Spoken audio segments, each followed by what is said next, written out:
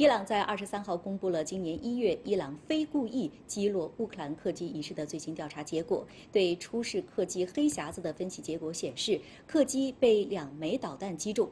伊朗民用航空组织负责人表示，第一枚导弹击中飞机十九秒之后，驾驶舱里飞行员的声音表明乘客还活着。二十五秒之后，第二枚导弹击中了飞机。今年一月八号，乌克兰国际航空公司一架波音七三七八百客机从伊朗首都德黑兰起飞，前往乌克兰首都基辅。但是起飞之后不久坠毁，机上的一百六十七名乘客和九名机组人员无一生还。伊朗军方表示，客机是被伊朗空军非故意击落，事故系人为错误导致。